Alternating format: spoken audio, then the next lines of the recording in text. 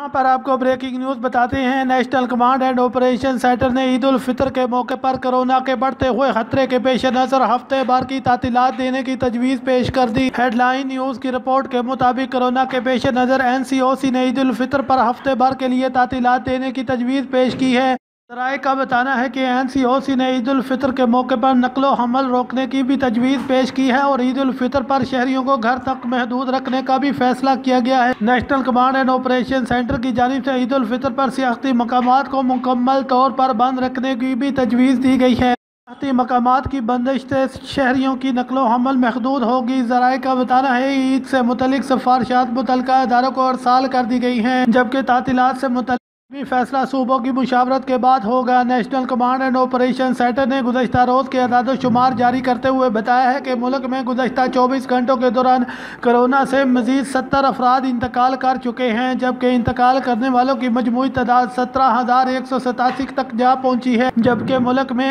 आठ लाख चार सौ बावन पॉजिटिव केस सामने आ चुके हैं अब तक मजमू तौर पर कोरोना के छः लाख चौरानवे हज़ार छियासी मरीज से एहतियाब भी हुए हैं